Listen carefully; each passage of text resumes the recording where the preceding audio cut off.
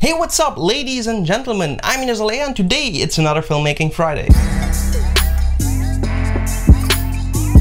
Alright, so Filmmaking Friday, which means we're going to talk about filmmaking, but filmmaking also applies on where you upload it and social media.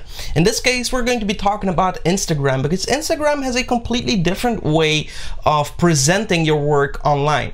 As you know, YouTube has the aspect ratio 16 by 9, which is the regular full HD aspect ratio uh, to, to view your videos in a wide screen. But Instagram actually made a dent in the universe and actually twisted that to be vertical. So in this video, I will be showing you a few tips and tricks to create the best render settings for your Instagram stories, for Instagram TV, and also for your posts. So first of all, I'm going to make you an example for the post. This is uh, just a photo. In this case, I'm just going to be talking about photos, but it's uh, it applies to video as well. So right here, you can see not sure if it focuses, but this is a square photo that I put on Instagram. And you can see how much of your own screen is used uh, posting a square photo. And in my opinion, that's not the best way of doing it. You want to capture your audience to see as much as they can as they're possibly allowed on your Instagram feed when they're scrolling. You want to be really sure their entire screen is filled as much as possible with your own work. So if we're going to scroll here up I kind of learned about that and here you can see that this is a larger photo. So here we're working with a square photo and here we are working with a different aspect ratio where the photos are taking up more space of the screen. So this is very important when making posts on your Instagram profile, but still when you're uploading to Instagram TV or stories, you're working with a completely different uh, resolution and you want them to be even longer to uh, fill up the entire screen. So let's jump into Adobe Premiere Pro, see the settings uh, for both the post and Instagram stories. Instagram stories has the exact same settings as Instagram TV, so that's luckily so yeah, let's get started. Alright, so here we are in Adobe Premiere Pro and I imported a video that I uploaded on YouTube. This is actually a tutorial that I created on how to create that old school uh, video effect overlay. So right here you can see these kind of scratches. If you want to see that, uh, I will put a link below so you can check out that video. But uh, so this is a really cool video. Of course, it's widescreen and on Instagram that wouldn't really work because you're only going to be, uh, if you're going to post this as a video, you're really not going to use enough of your screen space to make your video pop. So let's first work on an Instagram post and then later we are going to see how to do uh, the Instagram stories and Instagram TV. So um, I'm going to be creating a new item right here and I'm going to select sequence. I'm going to create a new timeline and I'm just going to head off to settings right away and we're here in the editing mode custom so you can choose your fps and it's completely up to you. I'm going to be using 24 frames per second but a regular full hd video here would be 1920 by 1080 uh, which is an aspect ratio of 16 by 9 and we don't want that. We want the video to post on instagram to be 3 by 4 which means that it's uh, 3 wide and 4 high, but this is just an aspect ratio, so the resolution is still different.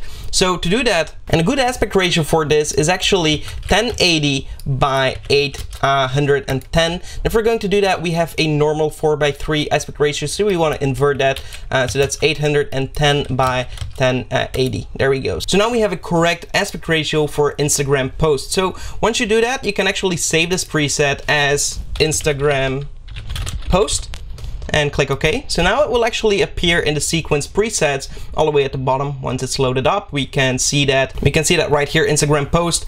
So select that and we're going to write that like vintage post or give it a name and then we're going to click OK. So now we have our sequence right here and you can see that we have a nice aspect ratio to work with. This is the maximum capacity on Instagram to actually see. So uh, what I'll do is actually drag in my video right here and keep the existing settings. And of course, your video is going to be too big, so you will have to click on it and change the scale. So we'll go to effects and controls and just drag this down as much as we can. Well, actually, it's kind of a perfect fit because the height of the video is 1080. And right here, we are also working with 1080 in height. So um, I'm going to play my video and on some points where I think that she's not correctly framed, what I'll do is uh, kind of cut this video like until until here. And then I would go in that specific angle and click on that layer and just move it over. So I kind of do tweaks to my edits for Instagram because they're different. Like right here she's walking too much on the side. So what I'll do is kind of go frame by frame with the arrows and then cut it with C. And then I go over here to the end of that video cut it over here and then go back click on it and just move it over. So I do adjust everything to actually fit for Instagram Okay, so that's really cool. Once your video is done uh, for posts, uh, you can just export that and you're good to go. So now let's say we want to post for Instagram TV. Uh, let's go and do another one. So sequence and go for sequence settings. So right here we have custom 24 frames per second. And in this case, we want to have the full uh, aspect ratio. That's 16 by 9, but converted so 9 by 16. So here we're going to enter 1080 by 920, uh, 1920. Of course, remember that everything has to be square pixels, no fields progressive scan, uh, which is ideal for online video. And then uh, once you've done that, we can again save this preset as Instagram story, but I already have one, so I won't do that. And then you click OK, and now you can see that you have an even bigger space to work on. So here we can uh, add our video for the Instagram story, keep existing settings. And we have to click on our video and go to the effects controls to scale it up. And there we go again, do all the tweaks you want to do here. But now we see that our entire screen is nicely filled for this video. And you can post it to Instagram story, uh, well, Instagram TV. If you want the story, make sure that you go and zoom in here and go at the 15 second mark and then just press um, the out point and then you have to export it that way. What I do is if I have a longer story, I would actually go and one frame forward with the arrow uh, to the right and then press I to get an in point and then go like at 30 seconds and press O and then export this one and just do that until the entire video is exported and then I will upload that accordingly on my Instagram story.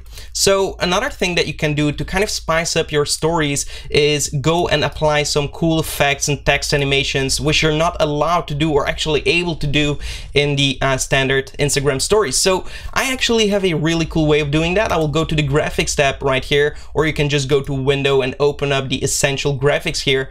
Um, these are amazing things that you can make like in After Effects, do crazy animations and then animate them in Premiere Pro. And I actually have a bunch of these on our website uh, if you want to check it out. I will put a link in the description. For example, for weddings, I have a nice wedding title, uh, which you can see once it's loaded up. Uh, give it some time. And there we have it. So uh, we have a really cool overlay for weddings, for example, or if you're going to delete that and go for browse, uh, you can import them very easily, but um, I really like, for example, the baller, uh, well, the ballin intro, so I'm going to apply that over here. And of course you can click on that and go to the effects controls, maybe scale it down, um, position it up, and kind of animate it that way. But that way you get some really cool animations in your text. So you can see uh, really cool. You can change the text over here and you can change the size of the text and change the color if you want to of that line uh, maybe to red. And you can completely animate it inside Premiere Pro which is really cool uh, to then use it uh, maybe right here. Of course you also have like a uh, Instagram kind of lower thirds which could be very cool because you're on Instagram. You can actually promote it a little bit more. Uh, so I'm going to click on that scale it down a little bit. And then kind of move it over to the bottom now we have something like that. a little bumper on the bottom. Super cool. All right so once you're done with everything what you'll have to do is go over here um, and kind of select the entire thing. And now for the export settings really simple. Go to file export media. Choose the H264 which is the best renderer for online video. It's compact and good quality. And then we want to uh, choose an output um, yeah kind of location and then export video and audio of course. Uh, everything else should be kind of good because it's good to go from uh, Premiere Pro itself. But what I like to do is a lot of people tend to go online and search ways to upload um, yeah posts and videos to Instagram from their PC, but I noticed that video is a very difficult one. So I just plug in my cable of my phone, I just drag in my video that I want to upload in my folder of my camera, and then I would upload that story or Instagram post and just delete that video because it's kind of too big to keep it on my phone. But that's how I do it. I think that's still the easiest way until today. So um, yeah, there you have it. All right, so that's super cool. And if you want to check out our website for the Instagram stories or any other project, we'll put a link in the description below. And if you have have suggestions like you want some kind of animations for your Instagram stories, definitely let me know in the comments below and I might actually be making a pack for that uh, so you can use that very easily. But that's it for this tutorial. I hope you enjoyed it. If you did, give this video a like. Also be sure to subscribe to the channel and hit the notification bell so you get notified when I upload new videos. And apart from that, like I said, check out our website and hope to see you guys in the next one. Goodbye.